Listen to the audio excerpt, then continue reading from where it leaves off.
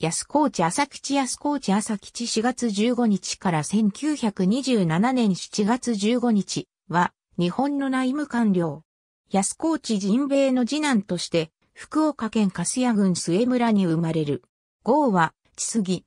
福岡県立尋常中学修遊館を経て、旧制第五高等学校一部法科を主席で卒業し、1897年7月、東京帝国大学法科大学法律学科を卒業。同月、内務省に入省し、同年12月には高等文官試験行政科に合格している。五校では小泉役もに英語を学んでおり、卒業後も進行を続けている。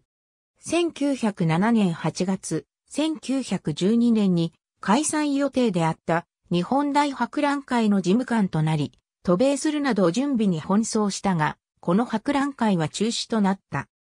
その後、1911年7月、官営八幡製鉄所、次長、1914年4月、内務省警保局長、1915年8月、静岡県知事、1918年5月、広島県知事を経て、1919年4月18日、福岡県知事に就任する。1922年10月16日に神奈川県知事に転じる。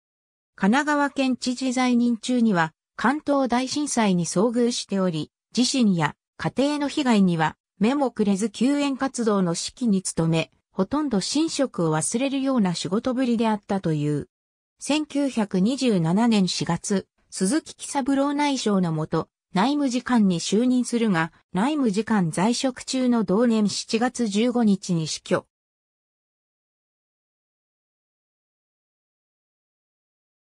葬儀には、友人総代として、同郷の金子健太郎、段卓馬が名を連ね、金子は、安高知の墓姫を書いている。ありがとうございます。